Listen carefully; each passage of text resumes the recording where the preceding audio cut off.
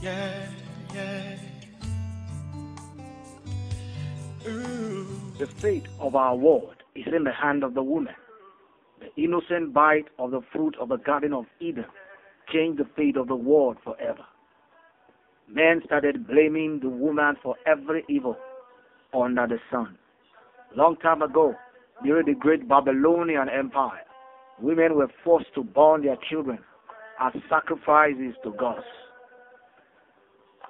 And the great Roman Empire came and promoted promiscuity, prostitution, and lesbianism. Then came the great witch hunt that saw countless women brutally burnt alive. Mothers were dragged from their children to be burnt for mere allegation of witchcraft. Civilization, as we knew it, collapsed, and the world fell into darkness until the Renaissance. Now, hand in hand, we try to rebuild what we've lost. But like those before us, we are selling our women to nudity, promiscuity, prostitution, and lesbianism again.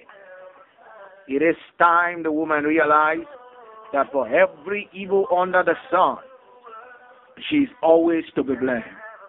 It is time the woman realizes that for every disaster, the woman and the child suffer.